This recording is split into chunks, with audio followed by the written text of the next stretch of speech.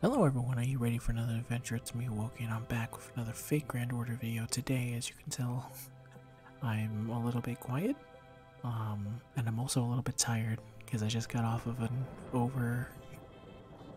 I've been basically working all day, and I finally found time at like 4 a.m. at night to record this video, so let's get into it. So today's video, I decided that because NA's in a state of kind of just like waiting for the next thing. Uh, well, there's a CCC event, but if you've already done the event and you're waiting for the next story event, then there's not a lot for you to do. But what you can do is that you can actually start grinding early for the Castoria stuff. If you want to maybe tempt fate and get your stuff ready so you can have her at full ascension and maybe max skills, though the max skill part is a little bit tough.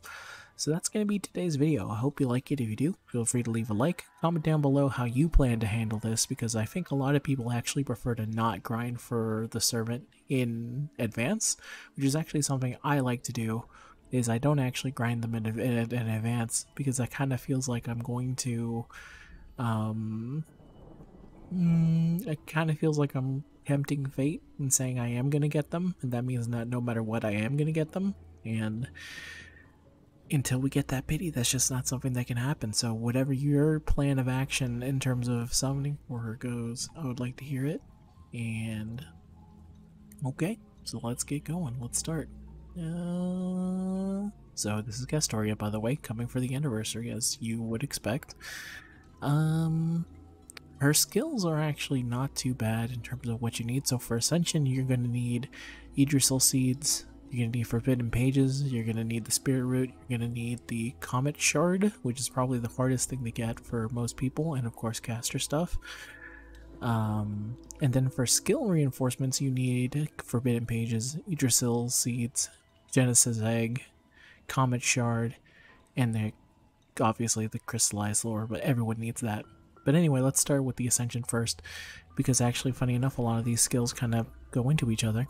So Yggdrasil sales. I guess we may as well start from easiest to hardest. okay. Oops, I accidentally closed something that should not be closed. Let me go here. And go, oh no, pause. Okay, so this is again on the NA side of the server. The best drop rates for the Seed of Yggdrasil are in Babylonia, the Fallen Babylonia, Sal Salem, the Quiet Forest, Salem Hideout, Sala, the Shimosa, the rice field, and the riverside town in Agartha. This is only in NA because obviously we don't have all the stuff on JP yet. But in terms of Babylonia, which is the best one, may as well show it off real quick how it looks. You should be able to see it right here. This is where you need to go. Uh, this is the best rate for them. This is where I think you fight a bunch of these dudes. I don't remember what they are because it's been so long since I've had to grind them. These thingies. There you go.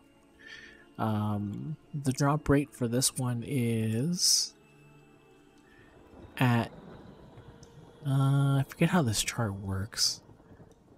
Okay, so the drop chance here is a 49.5% chance of dropping. So in every basically in theory if you spend around 40 AP you should be able to get them, and that's assuming that the AP is at 20. So that means every other two runs or three runs, depending on your luck, basically, making it the best one to go to. Uh, Salem, and funny enough, all of them are kind of all the same. The one in Salem, the Quiet Forest, which is, oh god, right here. See, Quiet Forest. Similar, except for now they're bronze instead of silver, so maybe they're slight. Oh, that, that last Grey Wolf is actually pretty hard to take down. Now that I look at them, they start so innocent and then they jump so high at the end. It has the same rate though. It has about the 40, uh, 48% chance. And they all kind of say the same. Salem, the next one in Hideout is 45% chance. And I think in Shimosa, that's when it starts to go down by a drastic margin, where it's a 39.7% chance. And all these um, specific nodes are like 20 AP, 20 AP, 21 AP, 20 AP, 20 AP. So really the best one that you would want to go to is the Babylonia one. The only reason you wouldn't want to go there is for some reason you don't have access to Babylonia. Which I think most people should. Because Babylonia takes place before, yeah, it, it, you get that one first. So it shouldn't be too hard to get Seed of Yggdrasil. I think I have over like 300 or 400 Seeds of Yggdrasil, so I don't need it. But if you need to go, Babylonia, the fallen Babylon, or as I think we call it over here, the abolished metropolis Babylon, just look for this specific marker. Should cost 20 AP, and it should be all writer. Good to remember. So next, that's Seed of Yggdrasil. Next, we have the Forbidden Page. Now, the best places for Forbidden Pages are in NA, again. And again, this is by drop rate, not by AP and drop rate, which is something, I guess, completely different. I don't really pay attention to that. I just pick drop rate and see which one is the best drop rate. But anyway, we have uh, Shinjuku 2 Chome, which is number one, followed by London and Hyde Park, followed by.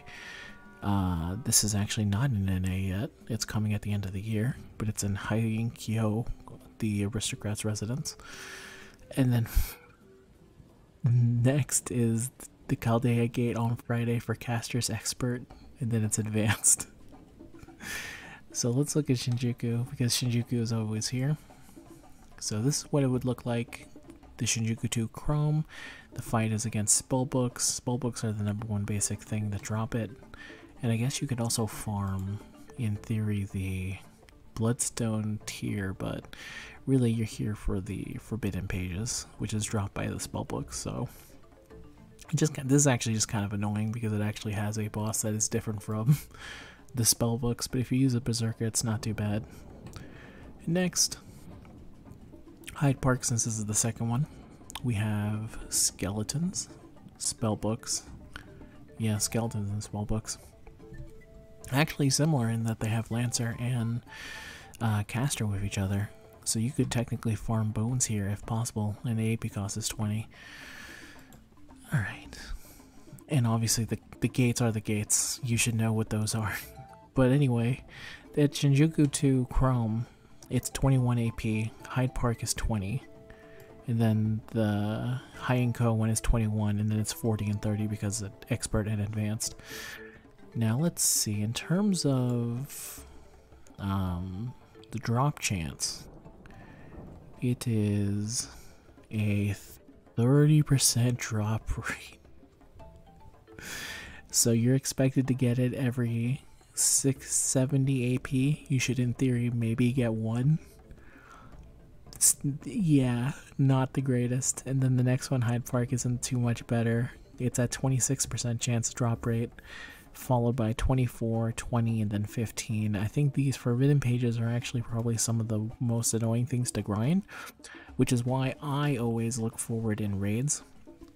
I actually think the best way to grind is to kind of just do raids and do occasional events where, for whatever reason, it's very easy to get a certain um, skill, um, which is something I'll bring up a little bit later when we're talking about the eggs, because in the summer event, they're the best place to get eggs is actually in the summer event. Um, but again, during times where there's literally nothing, you may as well do it, and it's always available. So you kind of gotta live with what you, what you got. So not the greatest thing for Forbidden Pages. If you're grinding for Forbidden Pages, a lot of units use Forbidden Pages. So in general, it's always nice to have as much as you can. But it is a pain in the ass to actually grind them if you're doing it. I have a similar to the last one. I think I have like somewhere around 500 Forbidden Pages. because I hoard them like some kind of rat, waiting for my chance to use them. I really should use them a little bit more. Well, that's neither here nor there, though. Alright, next. Because this is the toughest thing. We may as well go here, because it is the... oh, I didn't actually look up Spirit Root, because it's Spirit Root. Spirit Root has to be, like, the most blit item to go out of your you'll just randomly get spirit roots it's not that big a deal but for spirit roots the holy city in camelot is the best um i may as well just show the holy city and then not show any of the other ones. It has the best chance at a 12.1 percent chance. Do not grind for this. I'll just say right now it is so crazy easy to get spirit roots that you don't need to actually go grinding it. It drops from the Bronze Spriggan. You get plenty from event shops, so if you're actually running low on spirit roots, I would just say hold on and just kind of wait, because over time you'll just get so many spirit roots, because not a lot of units actually use spirit root. So if you're going to be grinding for any of these, I would say don't do it for the spirit root, just because it's not worth it, and you will be drowning in them, I swear. Anyway, into the more important ones.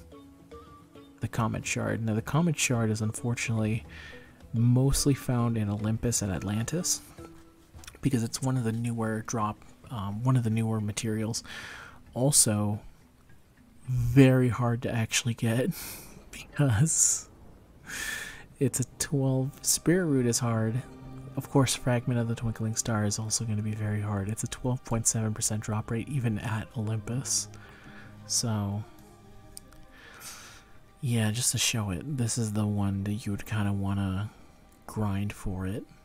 It's not doesn't look too bad to grind, but at 12.1% chance of drop, 12.7% chance of dropping, you would be dropping at least 166 AP for a chance at 1. That's assuming at 21 stamina, and the rest don't fare no better, so I'm not even going to mention them. Um, yeah, it's rough. Really rough. And thankfully, you don't need. You actually do need a lot. You need 35 total to get maximum, but thankfully, Castoria is so good that even at level 9 skills, or level 8 skills, I should say, she's going to be perfectly fine. So you can kind of hold off. The egg is probably the more important thing because you need more eggs than I think you need. Actually, no, you need more. You need more comet shards, but I digress. Comet shards, just like I mentioned with the the spirit root, are probably best to wait to see if they're a part of a raid or if they're part of a shop or if they're inside of a um, lotto mm. at some point. I forgot lotto is also why I have so many of certain materials because it really helps to grind them out in lotto. But yeah, in Olympus, the Machina Corridor, and if you want to see just to know the other four places it drops the best, it is Hanging Gardens at Olympus, it is Nemesis Island at Atlantis, and Atlantis Sailing Points. Those are the four. The best one I mentioned is the 12.7, the rest are 12.1, 12%, and 11.8. So either way, your AP, you're going to be using a lot of AP if you are grinding for these. And finally, the Egg of Truth. The best place to get it is actually in a place that we don't have, which is the one that's coming in December. But other than that, we have uh, in Yuga, I believe it is called, the Indian Lost Belt. Oh man, where is it? Bishu. No. Come on, where are you? Uh, Deval. This is your best place to get them, basically. And it is at a 12.2% chance. So 171 AP in theory to get one drop. If you're luckier, who knows? Not not the greatest of chances. And in Land of Eternity and Northern Sacred Mountain, which is up here, also has it. Egg of Truth. Here we go. And then here, Land of Eternity. Even though you need a lot, um, funny enough, the most recent um, grind quest that we just actually had, the what was it called? Can't believe I hunting quest. Yeah, there we go. I was about to look it up.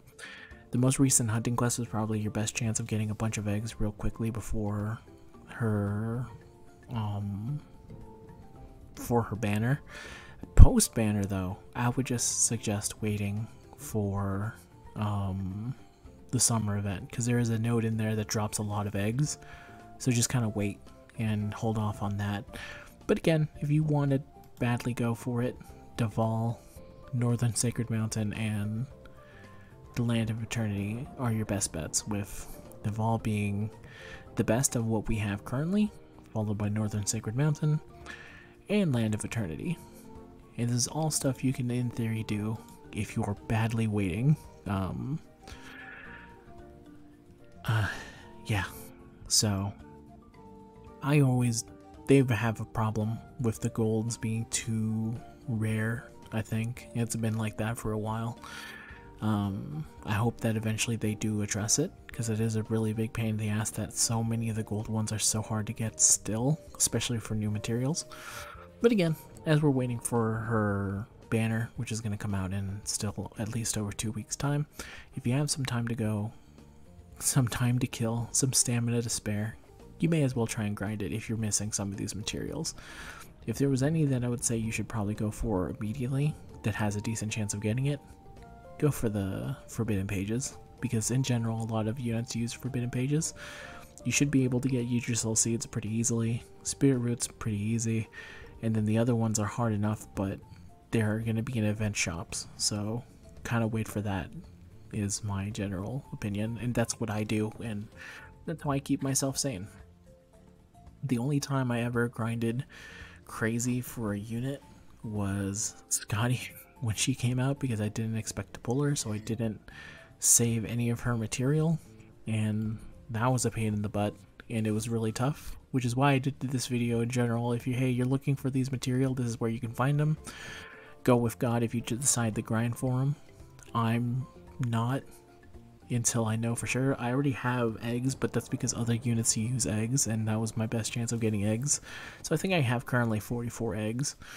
Um, compared to the 200s and the 400s of the other materials I have. I only have a very acceptable 44 eggs, but yeah, that's the end of the video, everyone. I hope it was either helpful or at least you know, damn, those are really the rates I'm not actually going to grind at. Either way, if you decide to not grind, if this video helped you decide not to grind it, I'm glad to help. If this video decided to be like, hey, I actually now know where to grind, I'm glad it helped. And that's the end of the video. Thank you very much for watching. As always, you can leave a like, it helps a whole bunch. I'm gonna go to sleep after I upload this. Y'all have a good day. Bye. Bye.